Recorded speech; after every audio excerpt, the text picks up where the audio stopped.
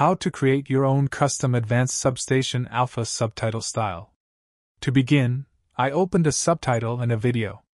First, change the subtitle format from SRT to Advanced Substation Alpha. Now the format is changed and you can see that a style column appears after each line with default style. Now to create a new style, click on this big A button in toolbar. Here, click on New button to create a new style and change the name of it, and then click OK.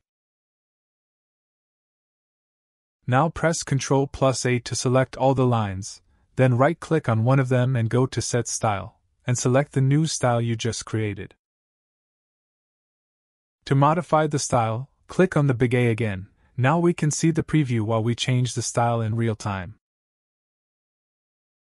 Here you can change the font family and font size and after each change, you can see a preview at the bottom, and by clicking apply button you can see the changes in the player.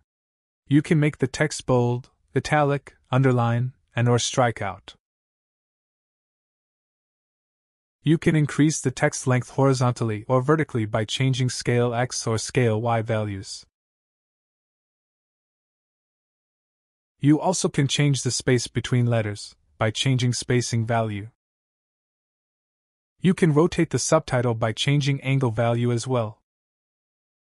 You can change alignment to change the position of your subtitle. Next, you can change margin from each direction. You can add a background to your subtitles by clicking on Opaque Box. Instead of an opaque box, you can add outline and shadow to your text too. At last, when you are happy with the settings, just click on OK button. And now you can see that the new style is applied to all the subtitles and it is time to burn the subtitle with this style into video. Just go to video and click on generate video with burn in subtitle and then click on generate and save the video.